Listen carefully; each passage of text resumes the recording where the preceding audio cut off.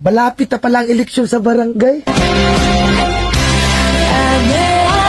Marami na naman tayo makakasalubong na tao na bigla ka na lang ngingitian kapag nakita ka sa daanan. Yung suplado at hindi mo malapitan yung may problema ka. Tapos ngayon, sila na yung unang maglalambing sa'yo at babatiin ka. Wow! Plastic ang ugali. Oh no! Tatakbo ka ulit ng pagkakapitan at konsehal ng barangay nyo. Wow! Tapos wala naman kayong magandang nagawang proyekto sa barangay nyo. Mahiya naman kayo. Tapos magtatanong kayo kung ilang buntante sa isang bahay.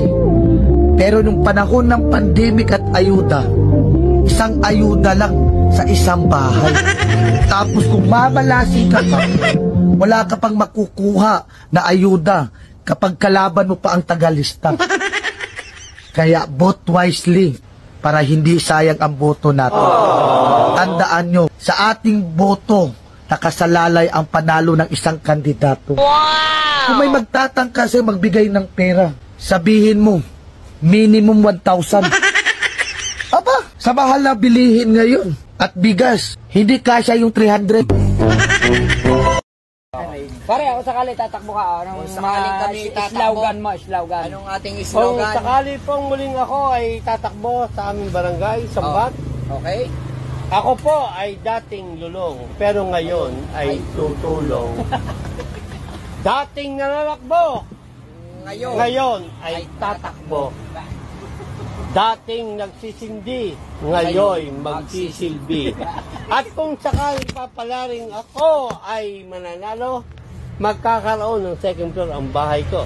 Alangang unahin ko kayo. Ayos. Ayos, ayos, ayos.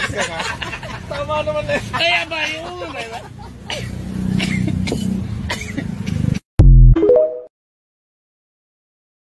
Kung pipili kayo ng iboboto, dapat dun tayo sa di bali ng walang isang daan. Basta nasa tamang daan.